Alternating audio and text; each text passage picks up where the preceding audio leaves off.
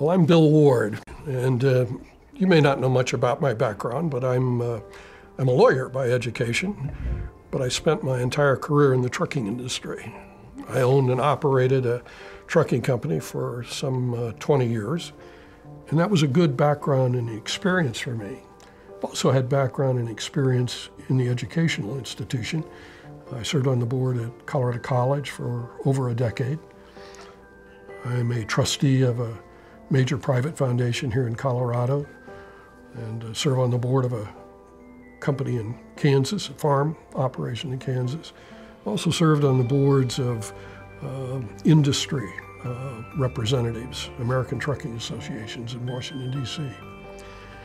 And so I, I've had quite a bit of experience there, but I've also had a long history with Denver Seminary. 40 years ago, a professor at Denver Seminary baptized me. He was the interim uh, preacher at our church at the time.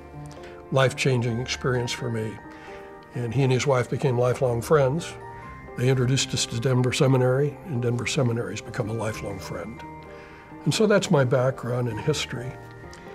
People sometimes ask, well, how do you evaluate Denver Seminary? Uh, what do you think of it?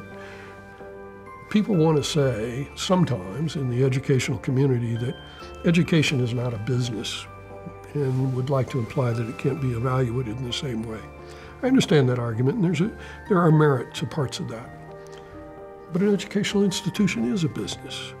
In a business, you need to have a focus. You need to understand what it is you're trying to do every morning. So does a seminary. In a business, you need great leadership. So does a seminary.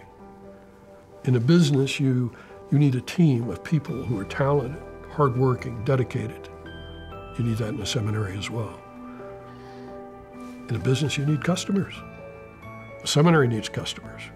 Customers who trust you, who like your product, they like your service, and they come back. Seminary needs customers. We call them students, but they're customers. A seminary needs financial stability, just as a business needs financial stability over time. You can't go broke. Denver Seminary, over 40 years that I've observed them, passes all of those tests in my mind. And they pass one other very important test. Every business needs investors, people that trust you, people who have confidence in you, and who will invest their money. A seminary needs investors. Sharon and I have been investors for 40 years. At Denver Seminary, we prepare men and women to engage the needs of the world, to present the redemptive power of the gospel and the life changing truth of Scripture.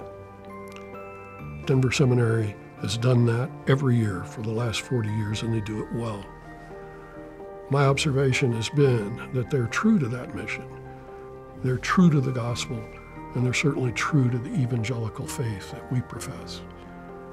Sharon and I have invested here for 40 years. We don't regret a dollar. Should people give it a shot? Take a look. Think you'll like what you see.